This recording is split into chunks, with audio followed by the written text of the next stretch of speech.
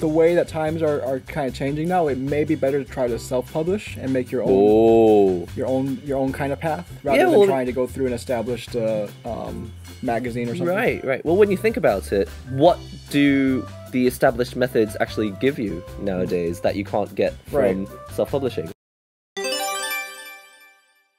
Hello, welcome back to Doki Doki Drawing. Today we got Wolf with us. Yay! I mean, you've been on the channel before. Yep, yeah, I'm Yazuki Wolf. Haven't been around lately on the internet, but uh, if you want to find out why, go over to my channel. Otherwise, let's just get to business.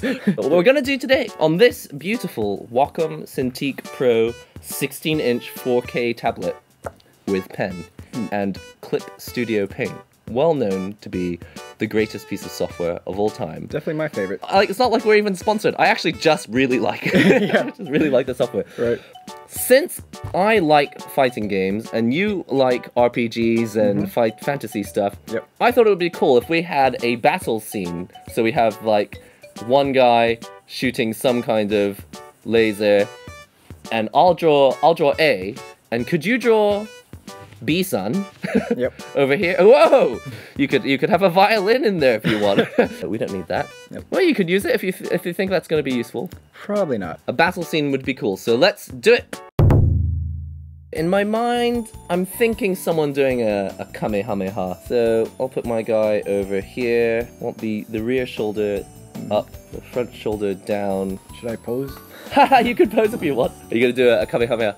Oh, nice. Brilliant. All right. See, this is why you need. This is why you need to hire professional professional models. This is this is incredible. You've really got a, a very correct posture.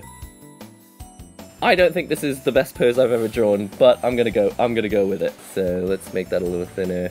Draw with a bit of blue. I'm gonna probably give him sleeves so that I don't have to draw the actual muscles. Cuts. Can you do this with your hands? Yeah. Perfect. This is luxurious. I've got to train Tony to do this for me. I used to do this a lot when I was in school. Oh, really? manga. Oh, right. No, that's right, because you went to a manga school, so you can actually tell us. The other So. thing I did a lot of uh, is uh, Figma figurines. Oh, yeah, are they useful? Yeah, you just uh, get the pose and then and then take a picture of it. I mean, nowadays you use people use like 3D software and everything to uh, get the pose, but I found that a lot of times it takes a while to boot up a 3D software and then like adjust every ligament Yeah. like one by one and like mo- moving the axes and stuff and to get the pose you want. Whereas if you just have a figure in your hands, it's pretty quick to just get the right pose, and then you, your angle you can actually just find with your phone and then just take a snapshot and there you go. yeah. Let's give this guy a hairstyle. It's going to be. It's Blowing in that direction. Yeah, Oh, it's going to be blowing in, in this direction. Sonic the Hedgehog. Sonic. it does. look- It looks like I've got. I've. I've drawn someone in a Sonic suit. Yeah. That's not. This wasn't actually my intention. How about that? That's cool, isn't it? It's kind of Kingdom Yeah, yeah. Heartsy style, since that's that's all the rage today Yep, yep. and yesterday, and probably for the next like 13 years, people will be talking about it. Mm-hmm. Are you a fan? Oh yeah, I, I enjoyed. I've been looking forward to uh, part three for the last like ten years. So it's There you been go. a while. There you go. So you you're in the you're in the 13 year waiting club. Yep. All right, let's draw this dude.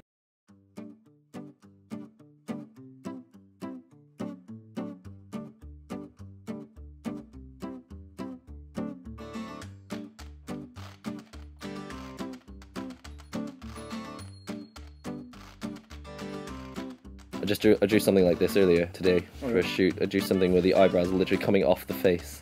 I, I do it because um, Ryu, Street Fighter, yeah. his, his, his eyebrows do that. It takes a lot of training to be able to have eyebrows that come off of your face.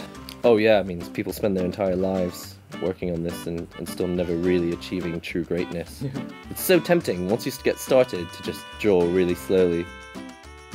When I was studying in school for uh, non-digital art, Mm. it always would help to just kind of stay at one. What's the word? If you have a if you have a fairly small piece of paper or something, you can't fit so much detail into it, so you don't. True. You're not tempted. But with digital, you could zoom in Yeah. naturally, which makes you pay much more attention to the detail than you really That's should. so true. Plus, this is a 300 DPI canvas at Yeah. 4K, plenty of detail if we wanted to. right. But really, I wish I hadn't. An advice for most uh, artists to try to not get too caught up in the details Mm. because I noticed a lot of my early works I would spend like 40 hours on one piece and I would have all these details. And even when I first got to work too, I was doing that. And then I would notice that someone else would do maybe a I don't know like a four hour piece, and theirs would look just as good as mine because all the stuff that made mine really special, all the all the hours of work that I put into it, you can only see if you zoom in. Oh no! So when it's printed out on a card or something, like no one even notices that the details there. Ah, that is tragic. So he's gonna be the first person in the world to do a Kamehameha wearing a coat. Actually, I kind of like it. It's an interesting matchup of different uh, designs. I think got a little like Dragon Ball-ish side, a little bit of uh, Street Fighter going on. you know, of course, the Sonic the Hedgehog spice. You know, the way I drew it the first the first draft, it was gonna be a full blown furry costume, which is fine, which is fine.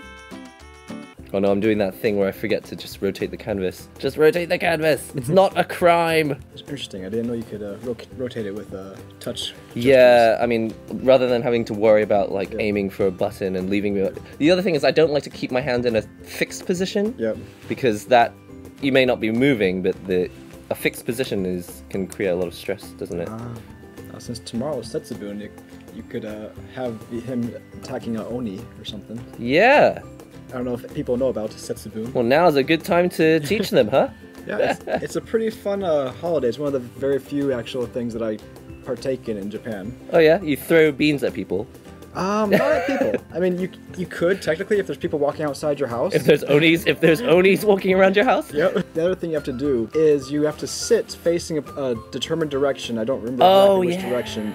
And you have a maki roll. Uh, well, is that the right way to A say big it? sushi, sushi? roll? Yeah, a big sushi roll. That um, you have to eat in one go in silence.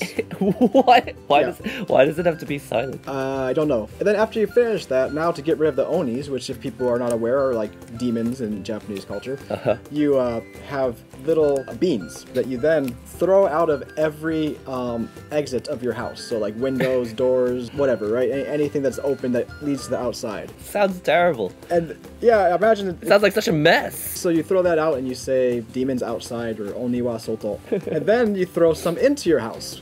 Which What? That's, that's the side that's a little bit harder to take care of because you'll find a couple weeks later you'll have like crushed pieces of beans in your house or whatever. But Like I was already kind of against it to start with, and now I'm like, uh oh.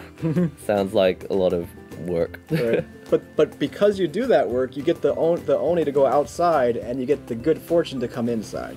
At least that's the, uh, Ah. The thought of it. The father will dress up like a demon and chase around and scare scare his kids. Now that part, that part, I can get on board with. Oh, the line work's looking pretty good for doing it so quickly. Oh, thanks. I also learned recently that apparently, like toddlers, if they practice drawing straight lines and like circles and stuff, apparently it's supposed to make them um, smarter. Oh, well, we can't have that.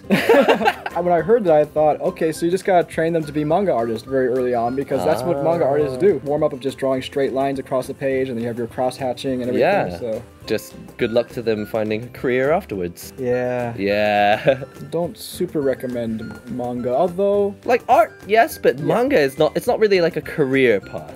I mean, You could. It, it's it a career. one, it's a career. It's a very tough path, and Yeah. I think that the way that times are, are kind of changing now, it may be better to try to self-publish and make your own oh. your own your own kind of path rather Yeah, than well- trying to go through an established uh, um, magazine or something. Right, right. Well, when you think about it, what do the established methods actually give you nowadays that you can't get from Right. self-publishing? Exactly. Is it is it worth trying to take the gamble and trying to appeal to them when really all they're going to give you is exposure on the internet, which you already have?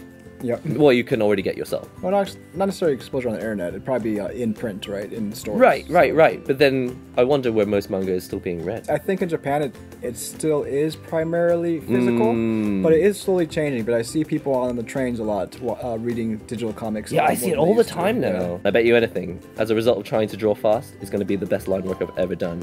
Yeah. Sometimes it works that way. You It gotta does. you gotta kind of like uh, loosen your filters. I like that phrase. I think I actually did it in a creative writing course um, because they were saying how most ti- time you would think that you shouldn't write when you're tired, Mm. but they said actually sometimes that might be the best time to write because you don't censor yourself as much. Raw, raw ideas just Right. coming out. Now I would think that it may be a good idea to uh, Edit. proofread the next morning, but While I was waiting in the shop to hang out with you today, Yep. Wolf, I was looking at some of the manga in the convenience store. I was like, you know what? You don't have to be good at drawing to draw manga. In Oh, no, fact, definitely.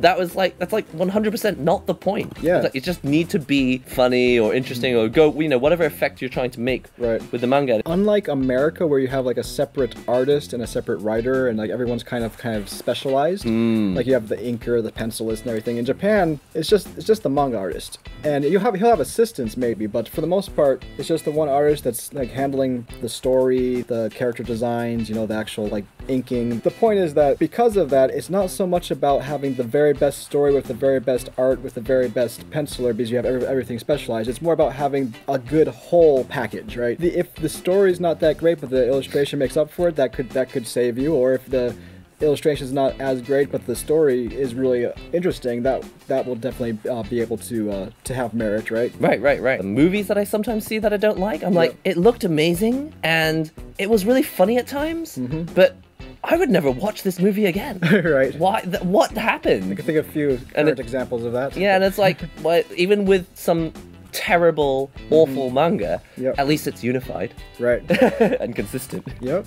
Yeah, the overall package is what they're they're uh, they're looking at. Although I will say, even though the art doesn't have to be perfect or doesn't have to be that great, it does have to be competent. There's certain things in Japan that they really are sticklers about, and this is particularly if you're if you're applying for a, a magazine. Things like uh, line weight, um, having clean line work, having uh, full um, panels, so like not having just a lot of like empty space, like there are a lot of things that even if you have a really good story, they might just be like, well, this just doesn't look professional. So, and and that, keep in mind that I'm not talking about your your actual drawing per se. I'm just talking about your ability to follow the core rules of how they expect you to be able to, of how they expect you as a professional to deliver a product. I guess. Interesting. So it's like like it's just a subcategory of art style Mm-hmm. is like a presentation, how you're presenting yourself. It just has to look legit. I guess is that useful Yeah, word? they want to look professional, I guess. So Yeah. They don't want to publish something that looks amateur.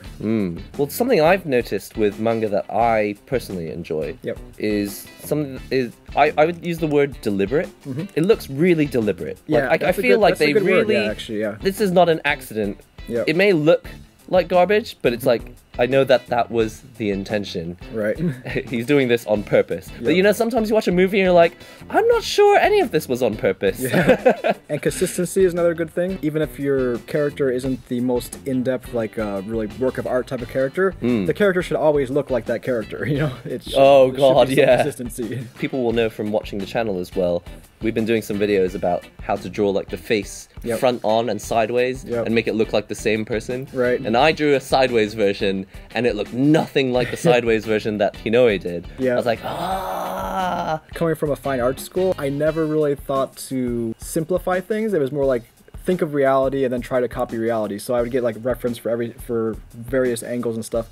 But then I found for manga, it generally is better to just get really good at your at the basic angles, like your your front face, 45 degree angles, like side, top, and maybe like a, a from below, from from above type of thing. Don't worry too much about having to get all the degrees in between there, because the more you complicate things, the more you're gonna have those issues where it doesn't quite look like the same character anymore. Mm, yeah. Well, this is on a separate layer. Feel free to do with that what you will. Alrighty. I'll leave this guy here. Anyway, that's Kansei des for me. Yay. Wolf. Bring on, bring on part B. I hope you enjoyed this video with Wolf. Thank you, Wolf. Thank you. Where can people find you, Wolf? So I have my drawing channel, which is uh, Okami Champloo, and then I have a channel that actually teaches you Japanese. It's um, it's been on a little bit of a break, but we're gonna get back to it. It's it's uh, Japan Quest. Also, there's a Japanese Let's Play channel called Yazuki Wolf. And that's all the Japanese culture things that you need, all in Yep. one, in the links below for this video. So definitely check them out. Bye. Bye bye.